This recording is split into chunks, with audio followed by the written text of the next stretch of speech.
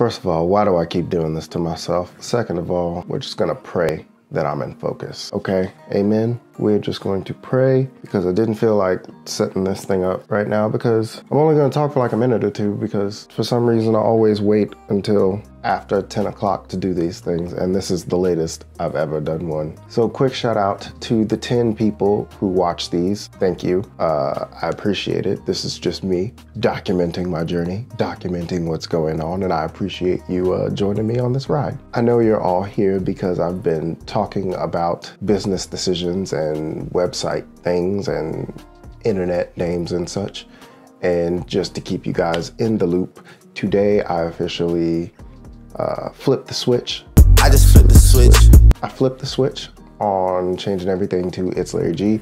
So my website is now updated, mostly for the most part. There might be a few other tweaks and changes that I need to make, but for now, I feel like it's ready to just go. Sometimes you just gotta jump out there and uh, you'll learn how to swim or you'll learn how to fly on the way down, whatever the saying is.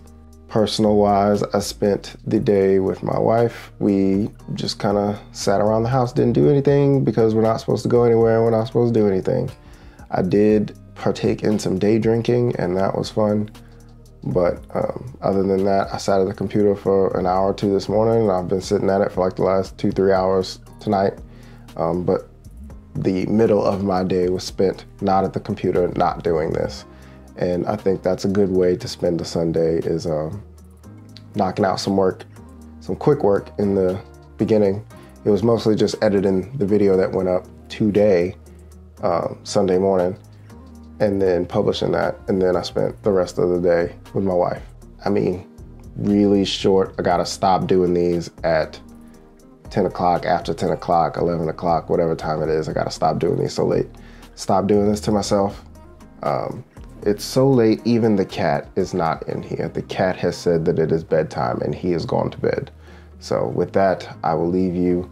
Um, I think it's kind of funny that I record these at night and upload them in the morning because if you watch these in the morning, then you're seeing more, then you're seeing me from the night before, which is not as peppy and morningy as the me that morning. Just something to think about. That's all I got. If you like this video, don't forget to give it a thumbs up. Hit the bell for notifications, subscribe for good vibes. If you guys have any suggestions on things you would like me to talk about, things you would like me to cover, go ahead and drop a comment down below. And uh, I'll see you guys in the next one. Believe that.